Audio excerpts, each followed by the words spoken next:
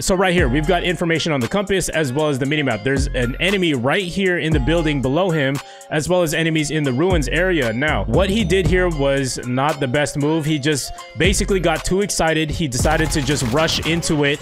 And yes, he did pick up some kills, but you know, that's not going to last you long. You're not going to be able to stay alive as long as you possibly can by doing that. But what's going on, guys? If you guys are interested in watching me play live, my Twitch is in the description down below. Make sure to hit that follow button, and I hope to see you there. Peace. All right, and welcome back to another episode of Subscriber Review, where I review your gameplay, and I pretty much just offer my tips and tricks on things that they could do better so that they don't make the same mistakes again. Now, if you're interested in me reviewing your gameplay, make sure you check out the description down below, where it will take you to a submission form, and all you got to do is just follow the guidelines to a T, and I will most likely review your gameplay. Now, keep in mind, I'm looking for players who genuinely want to improve. All right, so for today's video, the player that we're reviewing, his current KD ratio is a 0.91 KD. He's been playing since Black Ops 4. He said he sucked, so he bought Modern Warfare during Black Friday, and he has played a lot and he has tried to get better. And his reason for submission was that he wants to enjoy the game and maybe go on YouTube, but his main reason is that he wants to be a good player and have fun. And I know, you know, when you're doing well in the game, you do have fun, and when you're doing bad, it's the exact opposite experience. So uh, let's just get into the gameplay and just dissect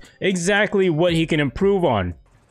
Now, one thing right off the bat that I can already suggest is to turn off that motion blur. Having the motion blur on is going to make it a harder time for you to be able to see the opponents that could potentially be around you when you're moving so swiftly around the map. So make sure you turn off weapon blur as well as world motion blur. Also, your minimap could be a lot bigger. I see that it's a circle right now. You can actually change that to a square so that you actually see a lot more on your minimap. Now, I do notice he's following these footsteps and he's been flanking around around the map since the beginning. He does see a couple enemies here. He engages, he misses his first couple shots. He throws that thermite grenade, and he's able to get both of the kills. Now, yes, he did come up on those kills, but I do have some insight on this particular situation. So he's coming up on some two kills right here. Clearly, these two guys don't see where he's at, and this is exactly why I say flanking is really beneficial to helping you stay alive and getting easier kills. These guys have no idea that he's here. So anyways, in this situation, I would not have fired right away because I don't have a clear shot. You always want to make sure that your shot is clear and it's clean because this is what's going to happen. As you can see, he misses shots and now he's forced in a situation where he could potentially die and miss out on these cleaner kills. So yes, he did get the two kills, but it could have been a lot cleaner. All right, so now he's at the top of the gun shop here. Oh, and he gets taken out right there. Hold on, let's just back it up real quick.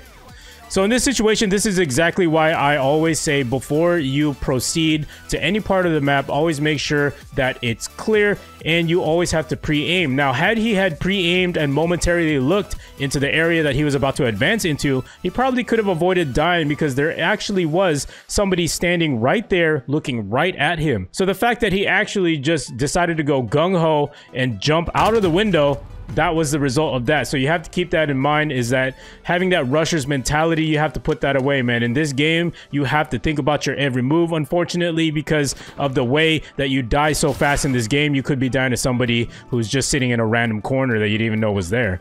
All right, so now he's here in the ruins. He obviously sees there's a lot of activity going on here in the marketplace. So it looks like he, he he's a very aggressive type of player. So that was a really good kill there. So now he's in the gun shop. I would definitely go up here for a good vantage point. Maybe clear out the area, see if there's any remaining enemies here.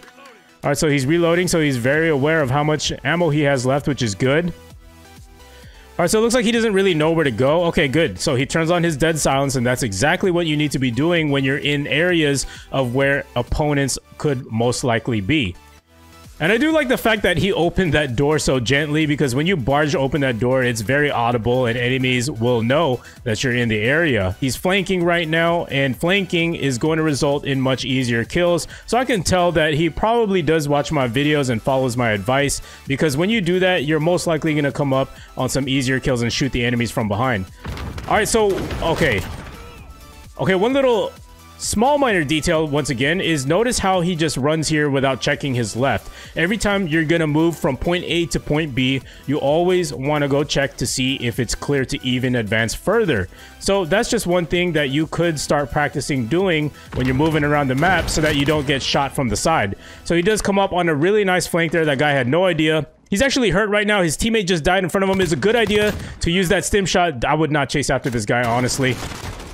And that is the result of that. So, you know, all right, so when we back it up in this situation, his teammate clearly died, right? And as you can see, his screen is super red. So in this situation, he's got a stim shot. You got to use that in these situations because there's clearly an enemy in the vicinity. And if you don't heal yourself right away, this enemy is potentially going to tap you in one shot and you're dead. Moving on with the gameplay, he decides to just bum rush it. You know, every time he sees an enemy, he's just going to go bum rush him. And you don't want to do that. You just want to stay where you are and let them come to you. Let yourself heal up. Do what you need to do to make sure that you put yourself in the best possible way to survive in that situation. So here comes the enemy that pops up out of nowhere. This guy actually just came out of nowhere.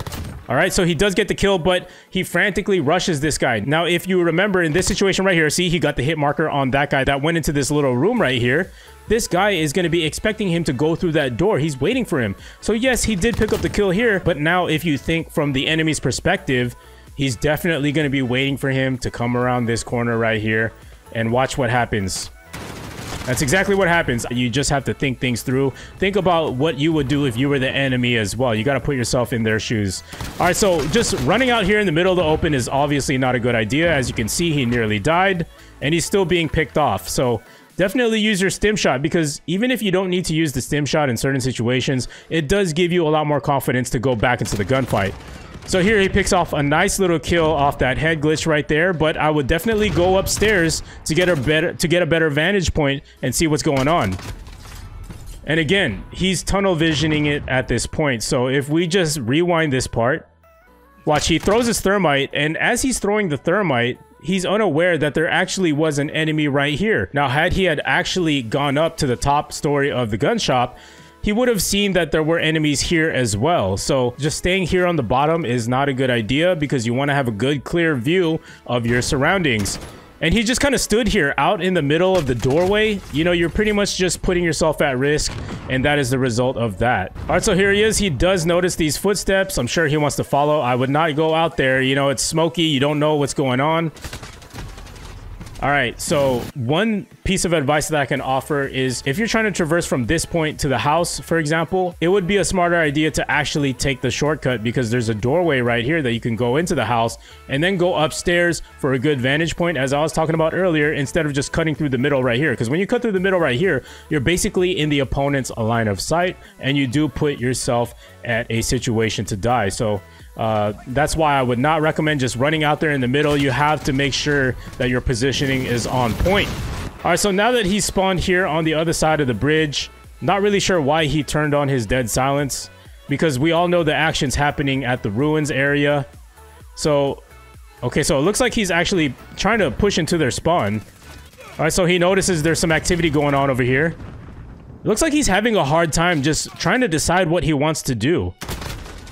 And I would say if he slowed his game down, it, he would have a much easier time of deciding what to do. You know, like it's kind of like driving a car. If you're driving really fast and there happens to be a potential accident waiting to happen, you know, you don't have time to react. However, if you're driving a lot slower, you it, you do have a lot more time to react if you know what I'm saying. So again, he's rushing too hard. I know that there's a lot of enemies here based on the UAV in the minimap. I'm not sure if this is to last him long. Yeah, so let me just break this down here real quick. What happened? So the, the teammate does call in a UAV here in a second. All right, there's the UAV. So if you pause it right here, when your teammate calls in a UAV, you got to wait for that sweep first to see what's going on, assess the situation, then make your move based on your conclusion. So right here, we've got information on the compass as well as the minimap. There's an enemy right here in the building below him, as well as enemies in the ruins area. Now, what he did here was not the best move. He just basically got too excited. He decided to just rush into it. And yes, he did pick up some kills, But, you know, that's not going to last you long. You're not going to be able to stay alive as long as you possibly can by doing that. You literally put yourself in the middle of gunfire and where enemies are going to be. Now, so now he's coming up on the ladder once again. All right, so in this situation, I would just stay here. Yep, I would not go out there. You just, yep, exactly what I thought was going to happen. So if you guys have seen my video breakdowns on Rammaza, you know that I always talk about this spot. It is a great spot because you get a good clear view of the enemy spawn. And how I know that they're spawning in here, number one, we've got the compass telling us so. The UAV confirms that as well. And also, if you look at our positioning of the teammates on the minimap, all of our teammates are behind us, so that only leaves this area in front of us to be where the enemies are going to be coming in from. So with all that said, if you just stay up here, you can literally just wait for the enemies to pop out, pick them off one by one, boom, easy kills. Now the fact that he just keeps rushing towards the enemies tells me that you know he's he gets a little too excited. You know, you I can tell that he just wants to rack up the kills, which he is racking up the kills, but it's at the cost of his death. So I would highly recommend to just play a little bit slower, slow it down, and just don't get too excited when you see those things. Alright, so now he's pushing side of ruins here. And he's looking to go back into their spawn because that's where they were last. He does pick up that kill. I would definitely slow down here. I would stay here. I would not push. Yes, he did get some kills there. Yeah. Alright, so his teammate is actually getting shot there, coming in from the spawn. So it looks like he's curious whether or not he should come out or not. No, that would not be a good idea. As you can see, he's getting tapped. His teammate actually just died in front of him right here. As you can see, his teammate's on the floor, and that white skull does confirm that. All right. I would actually go for the flank right here. Push into the ruins right now. Yep. There you go. You should be able to get a good flank. And there's one right there. Okay, I would not just stand there and watch him die. Like, let's just talk about this situation really quick. As you can see, he just kind of stands there. Now, when he's standing there, you're pretty much just wasting your time and you're allowing the opponent to go ahead and attack you from areas that you could get shot from, which would be right here. And as you can see, boom, there's an enemy right there and he got tapped. So when you're moving around the map and you see enemies, you want to move fast. You want to get your kills and be alert and always assume there's going to be another opponent around. Especially when you're flanking, you're always in a situation where there's most likely going to be more enemies. He's trying to get that high ground, which is good. And one thing I did like about his gameplay so far is that he's pre-aiming around those corners. He's doing a good job. However, I noticed when he's going up to objects, he could do a better job of pre-aiming instead of pre-aiming at the last second. So, so here's what I'm talking about. So, as he approaches, he sees an enemy, he shoots him, good job. There was another enemy that he spotted, so he wants to get a much closer shot. So as we see here, he approaches. At this point, he should have already pre-aimed because look at that. The opponent already knew he was coming and he's at a better position to kill him in that gunfight. So had he had pulled up his gun a lot sooner and pre-aimed, he would have had at least a 50-50 chance of surviving that gunfight. Alright, so he's mounting there, he's checking the area to see if it's clear. So it seems that he does have a good general idea of what to do, but it doesn't seem to be consistent. So you have to get in a much better habit of doing those things before you approach areas, you know. Make sure you're constantly thinking about it, you know, thinking steps ahead to prevent what's going on. Alright, so the enemy actually just called in an airstrike, and when you hear that there's an airstrike, you always got to take cover right away. You know, don't just run out there because you could potentially die. So here, I would I would chill here for a little bit, let the situation unfold, look out this window, see what's going on. Alright? Okay, so there's clearly activity going on on the opposite side of the map where he's going to right now. So another thing that I noticed that he could have done better was the fact that he just jumped through the middle of the map right here. Like this literally puts you at a bad spot because enemies could be shooting him from the side over here.